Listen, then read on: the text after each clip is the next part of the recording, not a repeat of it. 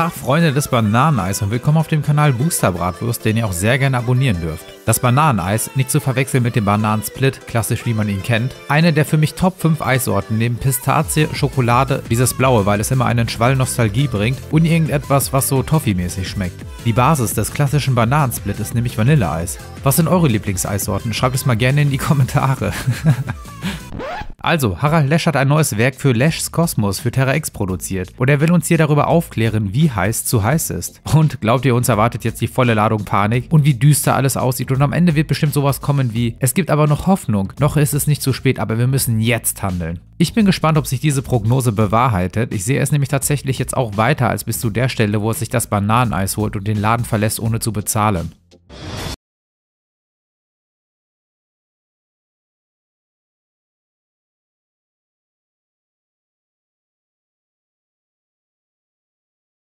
Ist die neue Realität. Unerträgliche Hitze mit Temperaturen bis zu 40 Grad Celsius. Ein leider im wahrsten Sinne des Wortes mörderischer Sommer. Als jemand, der Leute in der Familie hat, die damals schon zum Anfang der 2000er auf dem Bau gearbeitet haben, kann ich sagen, dass die Temperaturen damals nicht viel besser waren. Besonders wenn wir uns an die Hitzewelle 2003 zurückdenken. Sonne und schwarzer Asphalt ist eine Kombination, die immer zu Hitze führt. Also eine perfekte Repräsentation der Wetterverhältnisse.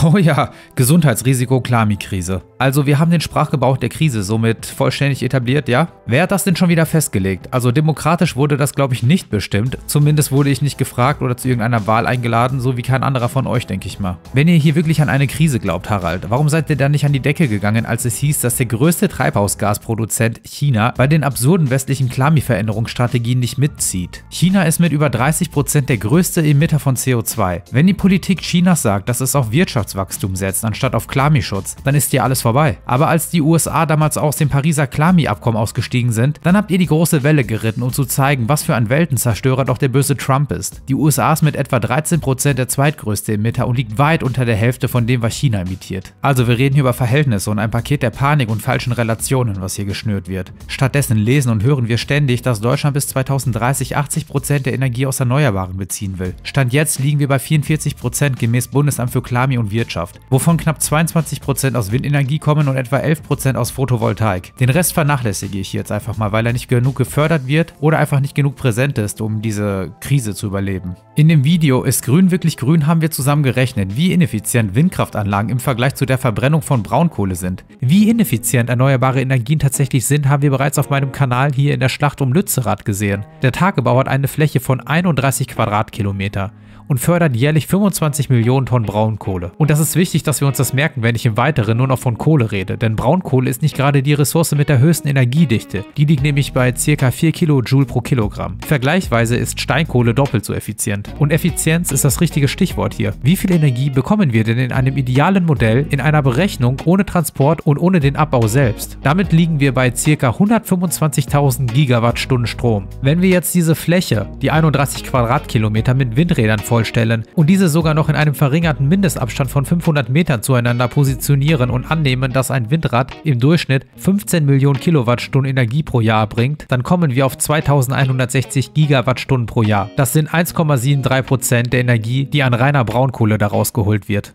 Die Grünen reden hier von 80 Prozent der Energie für unseren Strombedarf soll aus erneuerbaren Energiequellen produziert werden. Die Windräder müssten 58 Jahre permanent laufen, um die Energie, die aus einem Jahr Braunkohle gemacht wird, reinzuholen. Wir rechnen das jetzt einfach mal gegen und wollen herausfinden, was für eine Fläche nur mit Windrädern in einem verringerten Mindestabstand von 500 Metern besetzt werden müsste, um diese Menge an Energie in einem Jahr mit Windrädern zu erzeugen. Wir bleiben bei den 15 Millionen Kilowattstunden pro Jahr und teilen die 125 Gigawattstunden durch 15 Millionen Kilowattstunden und kommen auf gerundet 8334 Windräder. So viele Windräder produzieren im Jahr die gleiche Energie wie ein Jahr Kohleabbau. Wir quadratisieren jetzt die Fläche aus Einfachheitsgründen und ziehen die Wurzel aus 8334 35 Windrädern und haben also pro Kantenlänge abgerundet 91 Windräder stehen. Mit unserem verringerten Mindestabstand von 500 Metern kommen wir also auf 45,5 Kilometer Seitenlänge. Also würde das Windräderfeld eine Fläche von über 2000 Quadratkilometern einnehmen. Ihr Hunde, Alter. Das ist fünfmal so groß wie Köln und doppelt so groß wie Berlin. Wisst ihr, wie ich mich gerade fühle, Alter? Stellt euch vor, dass man 80% des Strombedarfs aus erneuerbaren Energien gewinnen will. Wenn schon die Fläche von 5 mal Köln benötigt wird, um nur einen Bruchteil der 20% Stromgewinnung von Braunkohle zu substituieren. Mal eine Frage an die Experten da draußen. Zählt der aus Frankreich importierte Atomstrom dann auch mit in die Statistik zu den erneuerbaren Energien oder will man die Statistik dahingehend manipulieren, dass man den größten Teil des Stroms importiert und dann der Strom, der noch hier produziert wird, dementsprechend aus regenerativen Energiequellen bezieht? Haltet euch das vor Augen, wenn jetzt wieder erzählt wird, dass wir mehr erneuerbare Energien brauchen. Also los, Harald, gönn dir dein Bananeneis und beriesel uns mit deiner Oper-Attitüde und deinen beschwichtigenden Ansichten. Der Sommer, das ist doch die schönste Jahreszeit. Die Sonne scheint, der Himmel ist blau, es ist warm, selbst nachts. Wir sind an der frischen Luft, wir sind draußen.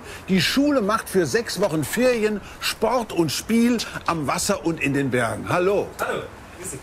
Ich hätte gern ähm, Banane. So war das mit dem Sommer. Bis jetzt. Und jetzt? Jetzt ändert er sich. Ach, der Sommer.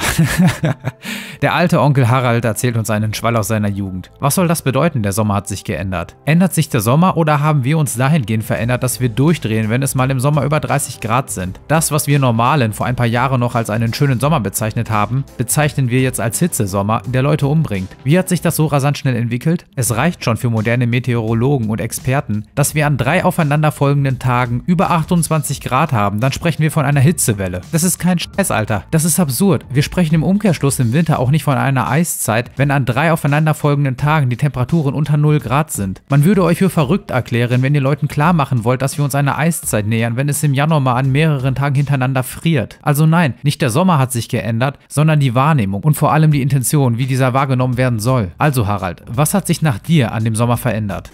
Die Sonne, die scheint nicht mehr einfach nur, sie brennt förmlich.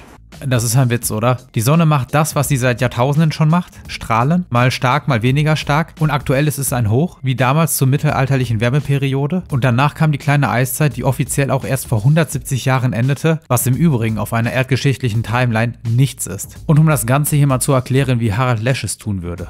Und diese Eiszeit dauerte ganze 500 Jahre an. Och, das ist eine ganz schön lange Zeit. Allerdings gab es zu dieser Zeit die mittelalterliche Klimaanomalie. Och, zur Erklärung, eine Anomalie ist natürlich ein Zustand, der von der üblichen Struktur abweicht. Und in diesem Fall war es das Klami. Och, und diese Periode dauerte ebenfalls gute 400 bis 500 Jahre. Man könnte fast meinen, dass diese Klami-Schwankungen ein zyklisches Ereignis darstellen. Ich meine, es ist so ein zyklisches Verhalten wie das, was Patrick an der Glühbirne veranstaltet. Tod, Leben, Tod, Leben, Tod, Leben, Tod, Leben, Tod. Patrick! Es ist bemerkenswert, dass das Klami derartige Schwankungen und derartige Extreme aufgewiesen hat, obwohl es zu der Zeit keine menschengemachten CO2-Emissionen oder CO2-Äquivalente gab. Trotzdem ist es mir wichtig zu sagen, dass es mir schon klar ist, wie der Treibhauseffekt funktioniert. Nur ist es allerdings nicht so stark, wie es uns die Medien weismachen wollen. Messbare Temperaturerhöhungen können unmöglich nur auf diesen einen Faktor zurückgeführt werden. Und es kann nicht völlig ignoriert werden, dass Temperaturschwankungen bzw. in diesem Fall Klami-Schwankungen eine Naturgegebenheit sind, die sich seit Jahrtausenden bereits zyklisch wiederholt. Harald Lesch sagt vielleicht in diesem Video Panik, aber ich sage, kein Grund zur Panik. Ich meine, was wollt ihr machen? Das Klami beeinflussen und beherrschen? So wie ein Lauterbach es damals sagte? Dazu kommen wir später noch. Bitte. Dankeschön. Der Klimawandel bringt immer mehr Hitze und die kann uns krank machen. Der Klimawandel bringt Hitze. Ja, okay, absolut, wenn man berücksichtigt, dass wir gerade aus einer Kälteperiode kommen und in eine Wärmeperiode steuern. So wie es die Leute im Mittelalter erlebt haben und davor auch schon die Römer und davor Dutzende andere Völker. Ob er uns krank macht, das wage ich zu bezweifeln, denn so ein Wandel, so eine Periode dauert im Schnitt 500 Jahre. Da sind thermale Schwankungen integriert, die sich Wetter nennen. Also Klami ist eine langfristige Wandlung der äußeren Begebenheiten und das Wetter eine kurzfristige Änderung. Und diese Schwankungen des Wetters, die können sich auf den Kreislauf auswirken. Auch wenn es regionale Unterschiede bei den Temperaturen gibt, ein Trend ist unübersehbar. Exakt, mein Lieber. Hier, sind der Trend und die Periodizität in die andere Richtung für dich auch relevant? Nein? Okay, dann muss es wohl ein völlig neuartiges Problem sein. Seit Jahrzehnten steigen die Tage mit Temperaturen von über 30 Grad Celsius in Deutschland an. Besonders seit den 1990er Jahren. Das muss man sich mal vorstellen. Schon allein in den vergangenen zwölf Jahren gab es 143 Hitzetage. Sieh an, ein Naturphänomen, das sogar mit Messungen beobachtet werden kann. Wissenschaft ist so faszinierend.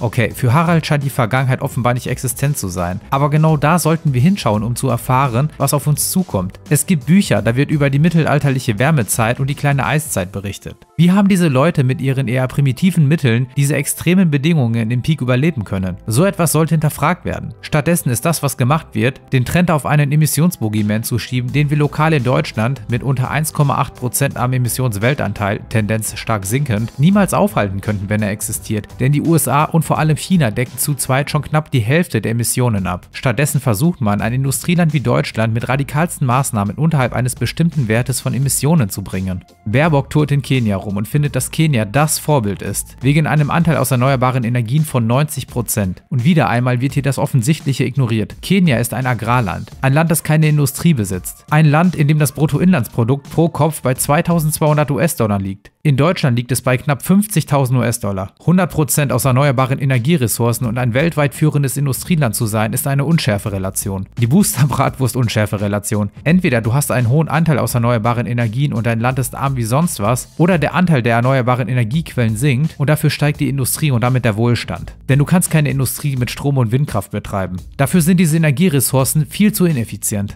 Wir haben hier die CO2-Mission aufgetragen gegen das Bruttoinlandsprodukt verschiedener Staaten. Deutschland finden wir oben rechts. Hohes BIP, hohe Emissionen, also etwa 1,8% am Weltanteil. Und wo ist Kenia? Links mittig. Wo sind all die anderen Länder, die wenig CO2-Emissionen haben? Richtig, das sind alles dritte Weltländer und haben dementsprechend ein geringes Bruttoinlandsprodukt. Es ist eine Utopie zu glauben und es den Leuten so zu verkaufen, dass man beides haben könnte. Was passiert denn, wenn man Deutschland emissionstechnisch durch politische Entscheidungen zu einem dritte Weltland machen will? Es wird de facto zu einem dritte Weltland. Nicht umsonst planen Unternehmen wie BASF, Deutschland wegen der absurden Energiekosten Richtung China zu verlassen. Der Körper muss die Temperatur in seinem Innern bei konstant etwa 37 Grad Celsius halten. Steigt die Temperatur, schlägt das Thermostat im Gehirn, der Hypothalamus, Alarm. Die Blutgefäße weiten sich und vergrößern so ihre Oberfläche, um möglichst viel Wärme abgeben zu können. Die inneren Organe werden mit weniger Blut versorgt. Kühlt das den Körper nicht auf 37 Grad, schaltet der Hypothalamus den effektivsten Kühlmechanismus ein, das Schwitzen. Flüssigkeit aus dem Blut wird über Schweißdrüsen und Hautporen abgesondert, Verdunstungskälte entsteht. Digga, hat der Alte uns gerade erklärt, dass Schwitzen ein normaler Prozess des Körpers ist? Ich habe selten so viel Dramatik bei der Erklärung des körpereigenen Kühlmechanismus gesehen. Also macht euch mal nicht lächerlich. Wart ihr schon mal in der Sauna? Habt ihr schon mal Sport gemacht? Habt ihr vielleicht schon mal Sport im Sommer gemacht? Ihr werdet es in der Regel überlebt haben. Ich bin überrascht. Menschen mit einem Kreislaufproblem können bei diesen Hitzeperioden Schwierigkeiten bekommen. Da gehe ich mit. Wie gesagt, das Wetter kann sich auf den Kreislauf auswirken, das kennen wir alle. Jetzt muss natürlich eine Korrelation zwischen eben diesen Fällen, also zum Beispiel Herzinfarkten und erhöhte Temperaturen hergestellt werden. Am Helmholtz-Zentrum in München will die Epidemiologin Dr. Alexandra Schneider das ändern. Das Problem? Es gibt kaum aussagekräftige Daten. Deshalb vergleicht die Forscherin Werte von Wetterstationen mit der Anzahl von Herzinfarktpatientinnen und Patienten, die ins Krankenhaus eingeliefert wurden. Die Krankendaten erhält sie aus dem sogenannten Augsburger Herzinfarktregister, eine Herz-Kreislauf-Studie, die Dr. Timo Schmitz leitet. Ich kann genau den gleichen Case aufmachen und er ist wahrscheinlich noch besser untersucht. Die Anzahl an fettleibigen Bürgern über 15 in Deutschland lag 2000 bei etwa 20% und im Jahr 2013 schon bei 24%. Laut Robert Koch Institut. Nach Selbstangaben aus dem Jahr 2019 und 20 sind in Deutschland 46,6% der Frauen und 60,5% der Männer von Übergewicht, einschließlich Adipositas, betroffen. Fast ein Fünftel der Erwachsenen, genau genommen 19%, weisen eine Adipositas auf. Mit höherem Alter steigen Übergewicht und Adipositas-Prävalenzen Grenzen an. Besonders alte Menschen sind vom starken Übergewicht betroffen und diese sind auch von wetterbehafteten Schwankungen kreislaufmäßig schneller betroffen als jüngere Menschen. Also Harald, das Wetter können wir nicht ändern, wir können uns nur darauf einstellen, sowohl mit Wetterberichten als auch mit Daten aus der Vergangenheit. Was wir allerdings ändern können, ist unsere körperliche Gesundheit, damit man mit warmem Wetter besser zurechtkommt. Und dann tut es mir leid für Personen wie etwa die hier in der Y-Kollektiv-Doku, aber wenn du Probleme mit dem Wetter bekommst, dann liegt es nicht daran, dass dein Körper diese nicht regulieren könnte, du hast deinen Körper einfach nur kaputt gemacht. Aber um meinen Case hier mal abzuschließen, die Temperaturen erhöhen sich und die Herzinfarkte auch. Ja gut, die Korrelation ist da. Allerdings auch bei den erhöhten Vorkommen von adipösen Leuten und der steigenden Anzahl an Herzinfarkten. Das ist ein Faktor, der sollte hier nicht vernachlässigt werden. Er wird aber zunächst einmal vernachlässigt. Ich meine, man könnte auch einfach sagen, die Korrelation besteht auch zwischen steigenden Temperaturen und einer steigenden Anzahl an adipösen Leuten. Dann wäre auch die Verbindung da, dass dicke Leute für den Klamivandel sorgen. Für einen akuten Herzinfarkt gibt es viele verschiedene Risikofaktoren. Extreme Temperaturen könnten eine entscheidende Rolle spielen.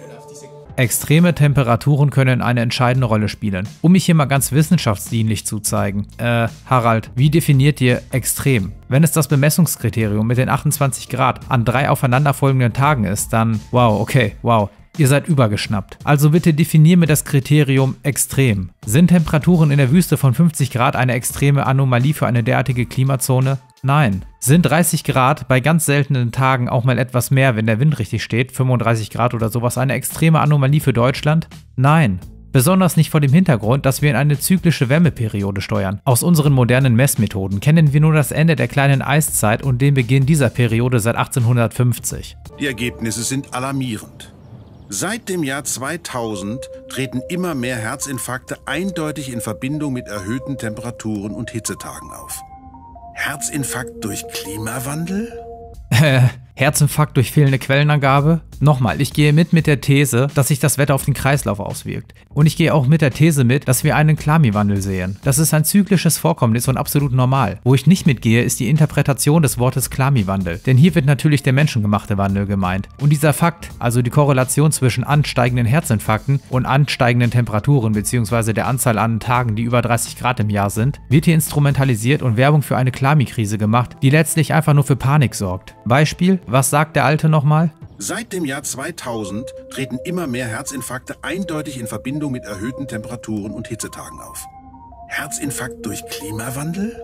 Seit dem Jahr 2000 schauen wir mal in die entsprechende Studie rein. Temporal Variations in the Triggering of Myocardial Infraction by Air Temperature in Augsburg, Germany 1987. Wir beachten zwei gleich große Zeitintervalle bis 2000 und ab 2001. In der Tabelle 1 Summary Statistics of Myocardial Infraction Cases in Augsburg, Germany from 1987 to 2014 sehen wir eine Auflistung der Gesamtzahl an Fällen. Die liegt bei 27.310. In der ersten Intervallshälfte ab 87 bis 2000 haben wir ein Auftreten von 13.770 Fällen und in der zweiten Hälfte bis 2014 von 13.540 Fällen. Das Ganze wird jetzt versucht auf die Erhöhung der Temperaturen zu schieben. Ist ja auch eine easy Nummer, besonders wenn wir ab 2010 bis 2022 schon in in zwölf Jahren 143 Tage über 30 Grad hatten. Das Problem ist, dass weder die absolute Zahl gestiegen ist, im Gegenteil, sie ist um 230 Fälle gesunken und was noch blöder gelaufen ist, die Studie macht meinen Punkt. 73% der Fälle waren Männer. Okay, interessanter Fakt. Oh, aber was haben wir denn hier? Obesity, also zu Deutsch Fettleibigkeit. 15% der Fälle im ersten Zeitintervall bis 2000 und fast 27% der Fälle ab 2001. Harald, Alter, stark übergewichtige Leute können schwieriger mit den Wetterveränderungen umgehen. Das meinte ich ja eben, als ich sagte, dass mein Case wahrscheinlich besser untersucht ist, als der Case, der hier gerade in der Dokumentation versucht wird aufzubauen. Klimatische Veränderungen treten dermaßen langsam auf in einer Region, das ist unmöglich, diese zu spüren. Gegenteiliges ist natürlich, wenn wir von Frankfurt nach Recife in den Regenwald fliegen. Das kann uns umhauen. Und umso mehr Übergewicht wir mit uns rumtragen,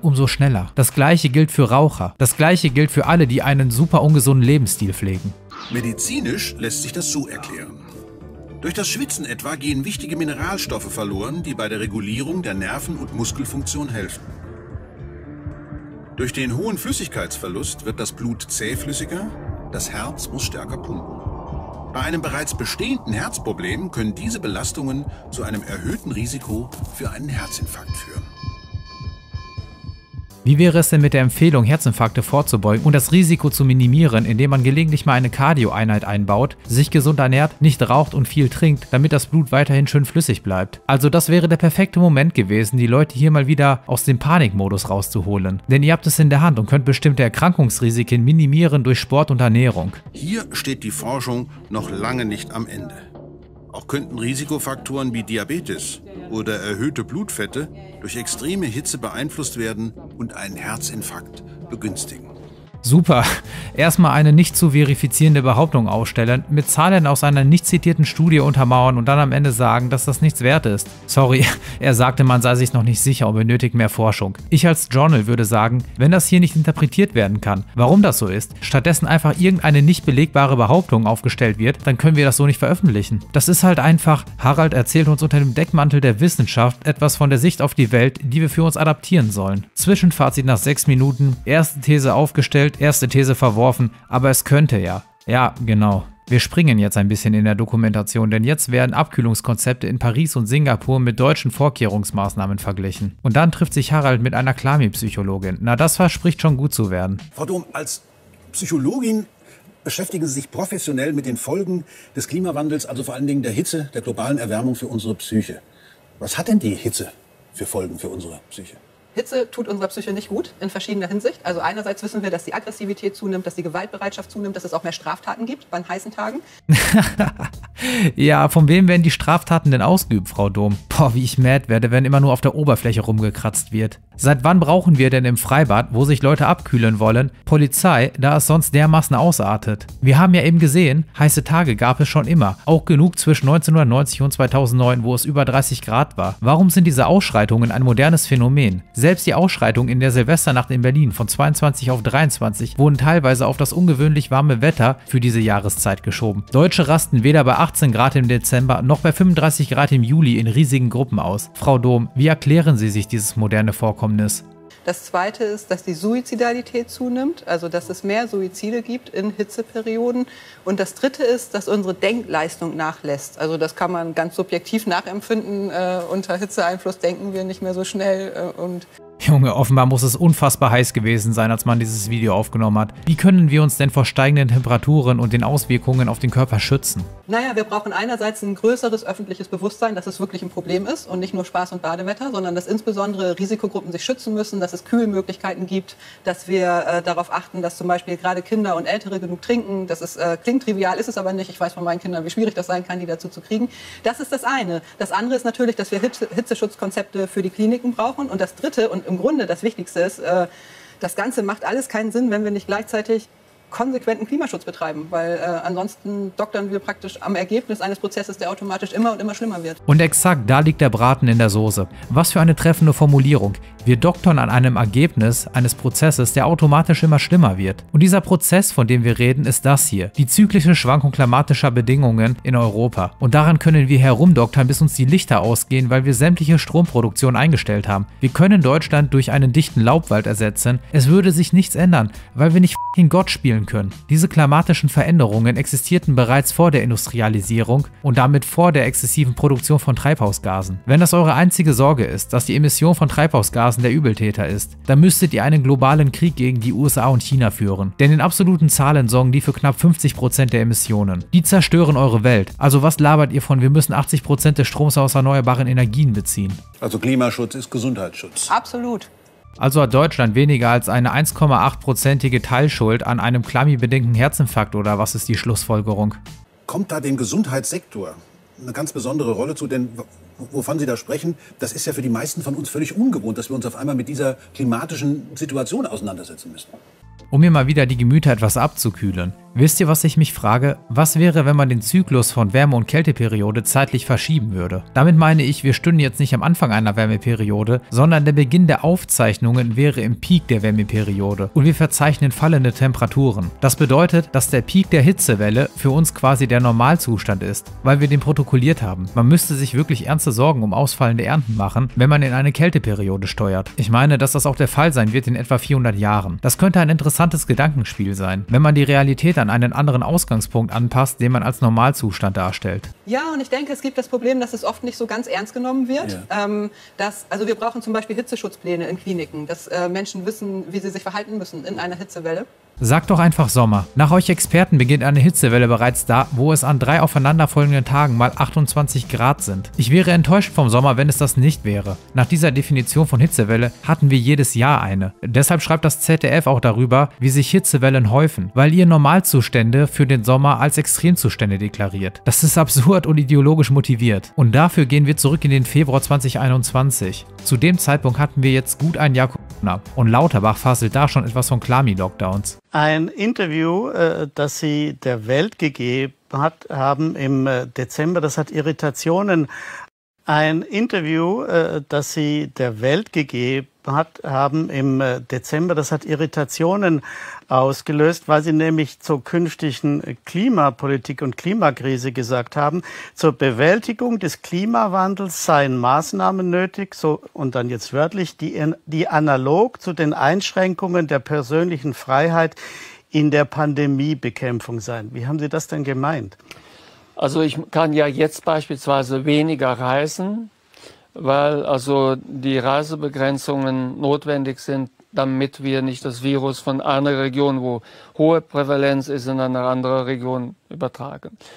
Ich muss auf viele Dinge verzichten, ähm, die ich gerne machen würde, weil es schädlich wäre für die öffentliche Gesundheit. Somit schränke ich meine Freiheiten ein Stück weit ein, um die Pandemie zu bekämpfen. Wenn ich jetzt die also äh, Klimakrise nach vorne denke, da gibt es zwei Möglichkeiten, das zu sehen. Die eine Möglichkeit ist, das so zu sehen, wir können alles machen, was wir wollen. Das wird demnächst, alles, was wir wollen, wird möglich sein durch eine Technologie, die also das klimaneutral macht. Ich sage mal, grüne Ökonomie, also die magischerweise jede Freiheit zulässt. Ich kann so viel reisen, wie ich will, so viel konsumieren, wie ich will. Die Technik macht es möglich, das ist alles dann klimaneutral. Ich halte das einfach als Naturwissenschaftler für unmöglich oder sehr unwahrscheinlich, dass das gelingt. Das ist Augenwischerei. Ich glaube, dass wir bestimmte Beschränkungen akzeptieren müssen, wollen wir den Klimawandel beherrschen. Dazu wird zum Beispiel gehören, dass wir nicht also so viel reisen, wie jeder reisen könnte. Dazu wird also gehören, dass wir den ein oder anderen Konsum auch freiwillig einschränken. Diese Einschränkungen der Freiheit sind freiwillige Einschränkungen der Freiheit und nicht unbedingt Einschränkungen der Freiheit, die jetzt quasi per Gesetz kommen. Es können auch Einschränkungen der Freiheit sein, die indirekt kommen, indem zum Beispiel die Preise für bestimmte Dinge, die klimaschädlich sind, höher werden. Und somit ist also aus meiner Sicht schon eine Analogie zu sehen zwischen der Bewältigung einer solchen Pandemie und des Klimawandels. Ein Naturwissenschaftler, der darüber spricht, das Klami zu beherrschen. Er will zyklische Veränderungen regulieren. Ich glaube, es geht eher darum, dass man den Leuten verklickern möchte, dass man es könnte durch bestimmte Maßnahmen. Und dazu gehört eben auch die Reduktion der Wirtschaft, um den Energieverbrauch zu drosseln. Und was soll das hier wieder mit den freiwilligen Einschränkungen, die darin bestehen, die Preise dermaßen hochzudrehen, damit die Leute es sich nicht mehr leisten können? Das machen sie ja freiwillig. Sie könnten sich ja jederzeit ein Haus oder ein Auto kaufen. Wie kamen wir jetzt da drauf? Naja, dann setzt man die Grenzen für Extremwerte dermaßen niedrig an, sodass jederzeit nach den Maßstäben von einer Krise gesprochen werden kann, sodass die Leute es irgendwann für sich adaptieren. Wenn man es nur oft genug erwähnt und diese Maßstäbe, wie sie Lauterbach gerade angesprochen hat, umgesetzt werden können ohne großen Widerstand. Wer will schon gegen die Bekämpfung einer Krise sein? Zeigt euch doch solidarisch. Ja, das kennen wir doch irgendwoher. Der Klimawandel bringt noch ganz andere Gesundheitsrisiken mit sich. Und zwar auf ganz verschlungenen Wegen. Szenen wie aus einem Horrorfilm. Dabei geht es lediglich um ein unscheinbares Kraut. Die Ambrosia. Eine Pflanze, auf die viele allergisch reagieren, bevorzugt warme Umgebungen. Ja, da muss ja der Klimawandel schuld sein. Ursprünglich stammt die Pflanze aus dem warmen Süden der USA. Von dort kamen ihre Samen wohl mit verunreinigtem Getreide um 1860 nach Europa. Seitdem hat man sie an immer mehr Orten gefunden. Ah, okay. Also ist der internationale Handel schuld, dass wir die Pflanze in Europa haben. Nächstes Katastrophenbeispiel. Wie Hyalomma. Eine Riesenzecke. Auch Tropenmediziner sind auf der Hut. Sie kennen Hyalomma vor allem als Überträgerin des mitunter tödlichen Grimm-Kongo-Fiebers. Doch zunächst Entwarnung. Keine der Zecken in Deutschland trug das Virus in sich. Ja, kein Plan. Holt euch nicht halb Afrika hierher, wenn man das mal so scherzhaft formulieren darf. Wahrscheinlich, wenn man das mal gerade so scherzhaft formulieren darf. In den letzten Jahren hat aber ein Konzept auch immer mehr Furore gemacht. Da spricht man von den sozialen Kipppunkten. Und da gibt es ja ganz überraschende Ergebnisse, wenn man mal so untersucht, wann eine Gesellschaft beginnt, tatsächlich sozusagen ins Handeln zu kommen und das Richtige zu tun. Kann uns das bei den Transformationsprozessen, in denen wir stecken, helfen? Wunderschön geframed. Das Richtige zu tun. Und jeder, der das nicht macht und anders agiert, agiert dann falsch oder was? Möglicherweise. Auf jeden Fall kann es mutmachend sein, ähm, weil wir aus der Forschung zu sozialen Bewegungen der Vergangenheit wissen, dass zum Beispiel 20 bis 25 Prozent der Menschen nur überzeugt sein müssen und 3 bis 3,5 Prozent der Menschen aktiv sein müssen, mhm. damit sich äh, gesellschaftliche Veränderungen schnell vorantreiben lassen. Mhm. Und das ist ja eine ganz gute Botschaft. Wir brauchen gar nicht alle damit erreichen. Es reicht, wenn die, die das Problem verstanden haben, wirklich aktiv werden und sich einbringen. Und da wäre es natürlich sinnvoll, damit wir mehr in die Offensive kommen und nicht immer nur im Reagieren hängen bleiben, wenn wir äh, gezielt das angehen, wo wir wissen, dass es große großes Veränderungspotenzial hat. Und das ist zum Beispiel Emissionen zu kennzeichnen, dass wir deutlich machen, wo kommen die her. Aus China zu 30,3 Prozent, Tendenz enorm steigend. Aus den USA mit 13,4 Prozent, aus Indien mit 6,8 Prozent, Tendenz enorm steigend. Aus Russland mit 4,7 Prozent, Tendenz eher sinkend. Aus Japan mit 3 Prozent und zu 1,8 Prozent aus Deutschland, Tendenz sehr stark sinkend. Und aus dem Iran zu 1,8 Prozent, Tendenz stark steigend. Das waren die ersten sieben Plätze. Also was ist das hier? Wir können sehr konkret sagen, wo die Emissionen anteilig herkommen.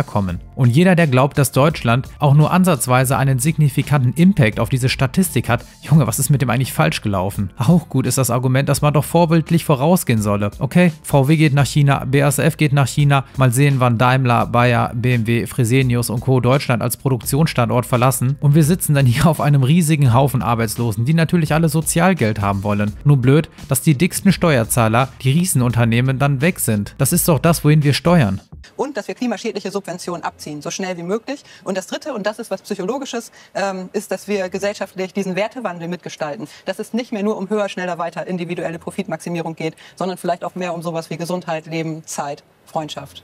Exakt das, was ich sage. Frau Dom, vielen Dank für das Gespräch. Gerne. Und manchmal kann es ganz schnell gehen. Da kann ein sozialer Kipppunkt dafür sorgen, dass man richtig was ändert in dem Land. Schauen wir mal nach Norwegen. Nach Norwegen? Aha.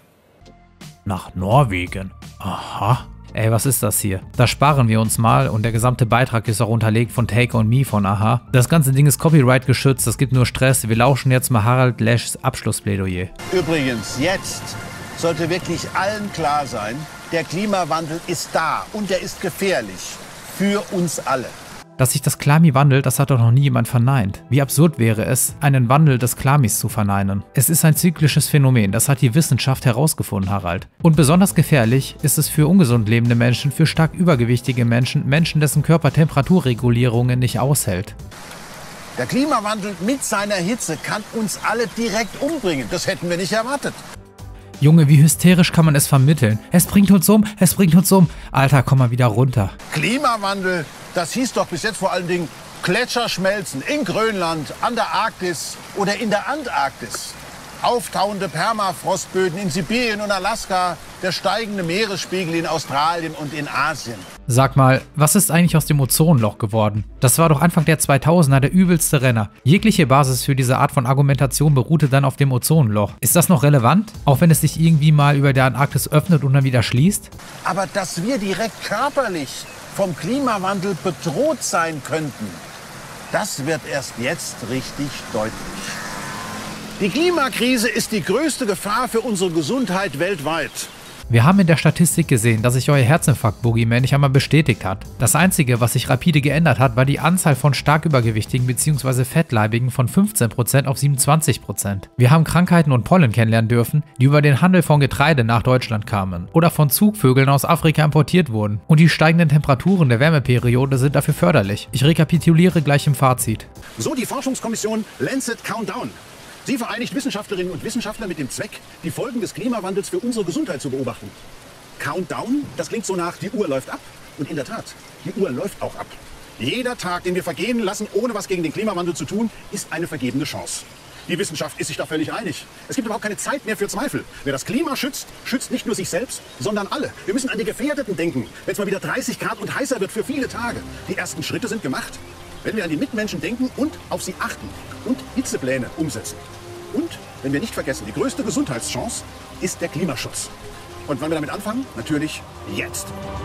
Wow, was für ein episches Statement am Ende. Meine Prognose vom Anfang stimmte also. Ich möchte am Ende noch einmal auf zwei Schlagwörter aus seinem Abschlusssermon eingehen. Die Wissenschaftler, die hier mal wieder erwähnt werden, wie stehen die denn zu dem Fakt, dass es zyklische Wärme- und Kälteperioden gibt und immer geben wird? Ist das alles Humbug? Wir werden es nicht erfahren. In diesem Video geht es nämlich ausschließlich um die zukünftige Entwicklung, ohne mal einen Blick zurückzuwerfen. Stattdessen, und da kommen wir zum zweiten Schlagwort, der Countdown. Die Zeit läuft ab. Die reinste Panikmache. Wir haben hier keinerlei anekdotische Evidenz zwischen Klami-Veränderungen und gesundheitlichen Problemen sehen können, die nicht auf andere Faktoren wie eben die Fettleibigkeit zurückzuführen sind. Und es ist symptomatisch, dass er diesen Bericht mit den Worten Krise abschließt. Denn ich kriege hier langsam die Krise, wenn ich mir weiter diese Panikmache ansehen muss. Wir sind durch und ich hoffe, es hat euch gefallen. Es wurde viel erzählt, aber wenig Sinnvolles gesagt. Ich bedanke mich, dass ihr mit dabei wart und ich würde sagen, dass wir uns im nächsten Video sehen. Macht's gut.